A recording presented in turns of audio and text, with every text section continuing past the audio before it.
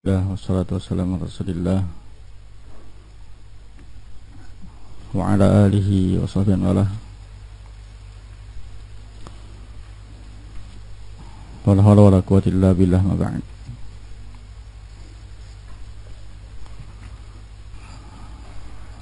Qul rahiman rahimakumullah Di antara Faidah ayat yang ke-11 yang sudah kita baca tadi subuh.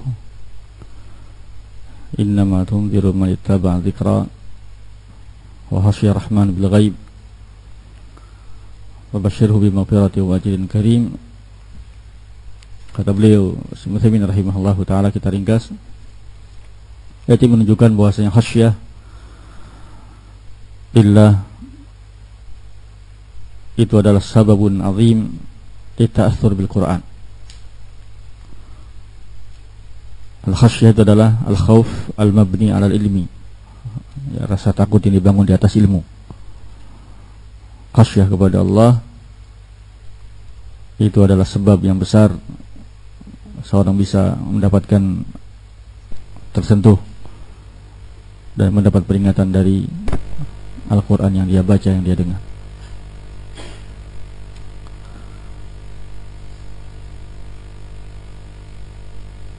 Sehingga kata Subhanahu rahimahullah taala fakullama kana al-insanu akhsha li rabbih kana afhama li kalami. Sehingga semakin seorang itu khasyah kepada Allah, takut kepada Allah yang dibangun dari ilmu. Maka dia akan semakin paham lebih memahami kalam Allah firman Allah Subhanahu wa taala. Ya sehingga kita, kita tahu ya Allah mengkhususkan khasyah untuk para ulama innama yakhsyallaha min ibadil ulama. Yang kedua atau yang berikut yang ketiga di antara faedah yang juga terdapat dalam ayat ini adalah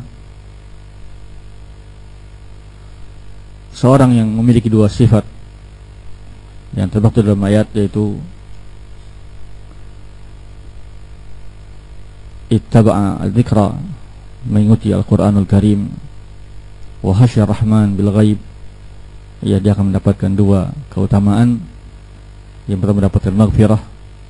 Dan yang kedua akan mendapatkan ajar Ajrun Karim.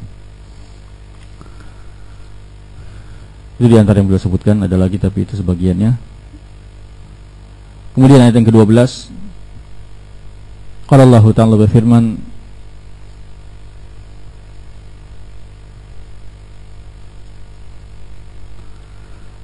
Inna nahnu nuhil mauta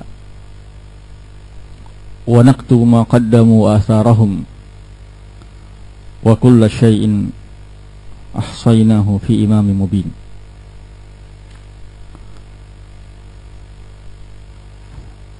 Inna sesungguhnya kami Nahnu Kalau dalam Ya Rabb ini Dhamir Al-Fasl Inna nahnu nuhyil mauta. Sungguh-sungguh kami Akan menghidupkan yang mati. Wa naktubu ma qaddamu. Dan kami Akan mencatat Apa yang telah mereka Lakukan semasa hidup Di dunia. Wa atharahum Dan athar hasil buah dari apa yang mereka amalkan. Seperti misalnya waladun saleh yang mereka qaddamu adalah menterbiah anak yang saleh. Kemudian asarnya yakni doanya mereka, istighfarnya mereka. Maqaddamu misalnya wakaf. Ya, asarahum yakni pahala yang terus mengalir dengan sebab wakaf yang digunakan Maqaddamu yakni ilmu yang pernah diajarkan. Asarnya yakni terus mengalirkan pahala Selama ilmu tersebut diamalkan dan diajarkan kepada yang lain. Di mana wa asarahum. Wa kulla syai'in segala sesuatu apakah kebaikan seseorang ataupun kejelekannya ahsayna. Ya kami telah kumpulkan semuanya fi imam mubin imam yakni kitab. Kitab yang mubin ini maksudnya adalah lauhil mahfud. Maksudnya lauhil mahfud. Nah berkata Sabdullah bin Sa'di rahimahullahu taala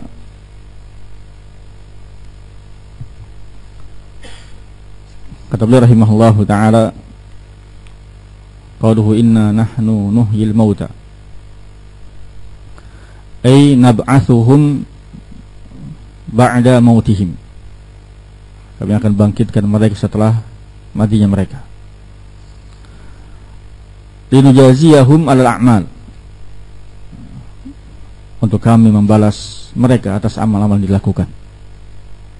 Ya, di sini menunjukkan adanya al-ba'ats, hari dibangkitkan manusia dari kubur dan adanya al-jaza, balasan amal. Wa naktubu ma qaddamu dan kami mencatat apa yang mereka telah lakukan di dunia minal khair wasyar apakah kebaikan mereka atau kejelekan mereka? Wa huwa a'maluhum allati amiluha. Yaitu amal-amal mereka yang telah mereka lakukan. Wa basyaruha ya. Yang mereka lakukan langsung oleh diri mereka fi hadi hayatihim di kehidupan mereka. Ini mana maqaddamu. Kami mencatat apa yang mereka dulu lakukan. Apa yang baik ataupun yang jelek. Wa asarahum juga asarnya. Hasilnya buahnya apa yang terhasilkan terjadi dengan dari perbuatan mereka. Wa hiya asarul khair wa asarul syar ya apakah itu asar kebaikan dari perbuatan mereka atau asar asyar? Allati kanu humus humu uh, huwa sabab. Humus sabab fi jadiha yaitu yang dulu mereka adalah sebab adanya kebaikan atau kejelekan tadi. Kalau kebaikan mereka dapat terus mendapatkan pahala kalau kejelekan juga mereka terus akan mendapat kiriman dosa. Nabi hari hayatihim wabada wafatihim dan kadang mereka masih hidup dan telah meninggal iya asar dari perbuatan mereka akan mereka dapatkan. Kalau amal ya contohnya tentunya kalau terang jelas dakwah. Kalau dia dulu pernah mendakwahkan seseorang mengajak berbuat baik maka mandalla ala khairin falu ajruh wa ajru man amila biha ila yaumil qiyamah sebaliknya kalau dia dalla ila syar ngajak kebidahan kesesatan maka dia akan dosa dan dosa yang melakukannya juga sampai dia meninggal. Wa tilkal a'mal alati nasya'at min aqwalihim wa fa'alihim wa ahwalihim maka semua amalan yang muncul dari perbuatan mereka, ucapan mereka, keadaan mereka. Wa kullu khairin amil amila bihi ahadun minan nas. Semua kebaikan yang dilakukan oleh seseorang dari manusia bisa babil ilmin abdi. Sekarang contoh mulai. Di antara contoh ya asar dari amal adalah contohnya adalah mengajarkan ilmu atau menasehati ketika ada seorang pernah menasehati yang lain mengajar yang lain kemudian ada seorang melakukannya amil lebih ahdu minan nas bisa babi ilmin abdi dengan sebab ilmu dia yang pernah diajarkan kemudian ada orang beramal. Wa ta'alimi dengan sebab pengajaran dia ada orang yang beramal sesuatu kebaikan. Aw nushi atau dengan sebab nasihat yang pernah dia ucapkan. Akhirnya ada orang berbuat baik. Aw amri bil ma'ruf aw nahyi munkar. Aw ilmin aw da'ahu inda muta'allimin atau ilmu yang pernah dia berikan kepada orang yang belajar muta'allim santrinya orang-orang belajar kepada dia. Au fi kutubin yuntamu biha atau dia tidak mengajar cuman dia pernah membuat buku atau mencetak buku yang dengan sebab buku tersebut yang dia cetak dia buat di masa hidup. Iya ada orang beramal dengannya kebaikan ketika dia masih hidup atau saat dia meninggal. Atau amila khairan min zakatin min salatin atau zakatin atau sadaqatin atau ihsanin. Atau ada seorang melakukan kebaikan. Dia salat, dia zakat, dia sedekah atau dia berbuat ihsan. Fakta bihi ghairu kemudian ada orang lain mencontoh dia mengikuti dia. Ikut salat, ikut zakat karena sebab mengikuti dia. Maka dia pun dapat asarnya dan menjadi kedua. Aw atau amila masjidan dia membuat masjid. Aw mahalan minal mahal allati yartafiqu bihan nas. Iya atau dia membuat satu tempat yang orang-orang di sana bisa berkumpul beribadah kepada Allah Subhanahu wa taala. Mas badalik fa innaha min atharihi allati tuktabu lahu. Makanya termasuk asar yang akan menjadi ya kebaikan yang dia dicatat terus. Ya dia wakaf masjid wakaf madrasah dan wakaf yang lainnya untuk kebaikan terus akan dicatat sebagai amal dia sampai dia meninggal dunia. Ini contoh yang baik. Qala wa kadzalika amila syarr. Demikian juga amal syarr. Seorang yang berbuat jelek kemudian diikuti yang lain. Seorang mengajarkan kejelekan kemudian diikuti yang lain oleh hadal karena itu Rasul sallallahu alaihi berkata, "Man sanna sunnatan hasanatan." Barang siapa yang mengajari, memberi contoh satu kebaikan sunnah yang baik, falahu ajruha maka dia mendapat pahalanya. Wa ajru man amila biha ila qiyamah. Dan dia, dia pun akan tercatat mendapatkan pahala dari orang yang mengamalkan sampai hari kiamat.